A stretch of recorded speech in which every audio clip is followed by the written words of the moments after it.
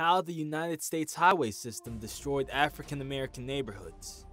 Since the beginning of time, humankind has always divided itself based on color, caste, or religion.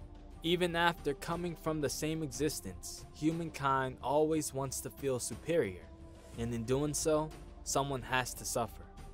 When we look at history, we see many racist incidents and things like slavery that most humans are not proud of today. However, some of it in history can be justified by saying that it was old age. Humankind was learning things. However, when we look at the present era watching the same old things happening, we may stop and think that humankind is doing this on purpose. Some just want to feel superior over others, and when they can't find talent in them, they may use color to feel superior. Maybe it is not what you have seen or faced in your neighborhood, but many African Americans have faced this discrimination since the beginning.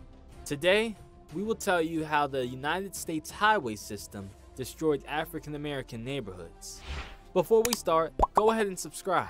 Also, press the bell button to get the latest updates. Without further ado, let's get started. After the death of George Floyd, many African Americans came out for protest. It was not one incident, but a series of incidents that provoked so many people to come out and protest. When we talk about racist actions, history goes back to the 1940s and beyond. This was the time when African Americans were living in better conditions.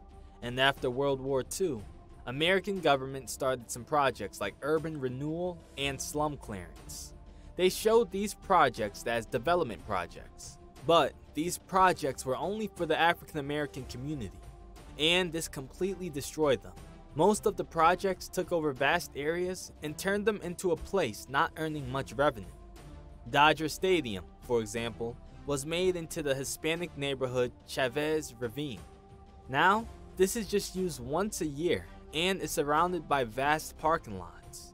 In other cases, urban renewals was done to build high-rise public housing or major development projects like Lincoln Center in Manhattan or Dodger Stadium in Los Angeles. As with the roads, these projects serve some economic purpose, but not even close to what they replaced. Keeping the modernist aesthetic, they favored superblock development and large open spaces rather than complex urban life. With time, many people realized that all these projects were only to divide African American communities, which destroyed them. Now, as the nation reckons with other racist aspects of its past with protest, in several prominent instances, on 60s era freeways, much like the Claiborne, Stelly, and other advocates around the country are intensifying their calls for city and state governments to remove the highways that destroyed black neighborhoods. It will take a long time for people to make a difference, but hopes are high and things are moving in the right direction. These projects were once fancy, but now, as people are realizing, more and more people want to tear down these highways and restore the areas. Five US cities have already done projects to restore these places, and many more are planning to do it. Another interesting thing is apart from racism, and many Americans are standing with African Americans and demanding the restoration of these places, which are destroyed by these highways. This is really helpful for the African Americans as white Americans now accept that these projects were racist actions of the past and now need to be resolved. As these projects were mostly done in 1950 and 60, the government covered 90% of cost. Hence, due to this, many rich people tried to build roads that could connect their residences to their businesses, and this was done over the present infrastructure. When this happened, in dense urban areas, they faced much resistance. There were 40,000 miles of roads in the interstate system by 1980, and then engineers making highways added about 5,000 miles. Later, it was found out that most of these developments were done only to clear slum and blighted areas. Stelly is a black American who lived most of her life under the shadows of Claiborne Highway, which is an elevated freeway.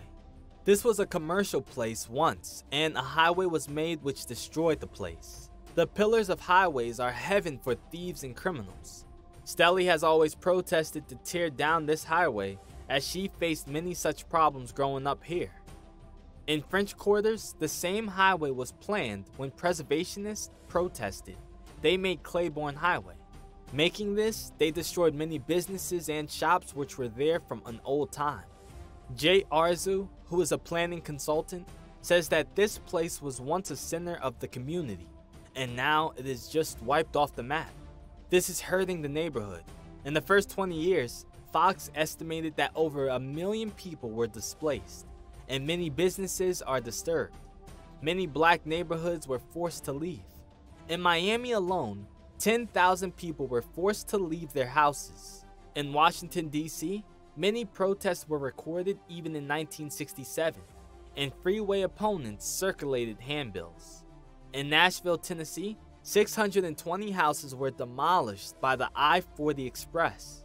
According to the Congress for the New Urbanism, a national nonprofit planning group, 14 North American cities have demolished or downgraded their freeways with the help of state and federal grants, and another four have formally started such projects. The main point is, there are many examples like this, where only black communities were targeted and destroyed in the name of development. This kind of treatment forces people to think that it is not fair, and they have to protest for their rights. Recent protests show that black people are fed up with the racism and want to get their rights as equal citizens. However, times are changing as the new generation is accepting that bad things have been done and new changes are needed to get rid of this racism. Many white Americans joined recent protests and they stood with their black community and supported them. This shows that humanity is still alive and people do care for others. Apart from this, we also see that these protests created awareness, and people around the world realized that Black Lives Matter. And many areas started restoring the things which were taken from the black community. According to estimates, around 14 North American cities have themselves demolished these free highways with different institutions' help. Apart from that, many other cities started such projects, and worked on getting rid of these freeways and restoring the old structures and businesses.